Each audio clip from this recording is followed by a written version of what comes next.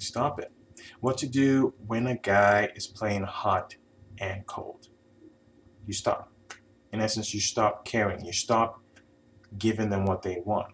A lot of times when a guy does this, he's doing it in other in all in order to get um, get a response from you, get get emotion out of you, and they can sense it. Even if you don't say anything, they can sense when you're feeling uncomfortable. They can sense when you're feeling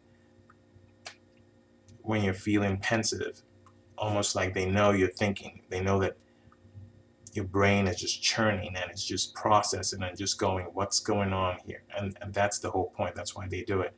So what you do is you don't give that power. If he's playing hot and cold, you don't give that power by giving it attention. You essentially act like you don't even freaking notice it. You don't. You don't know it's, notice it, you don't see it, and he's gonna go, huh, I've done this, this, and this, and she's just acting like nothing's happening. That's when you get control of the situation.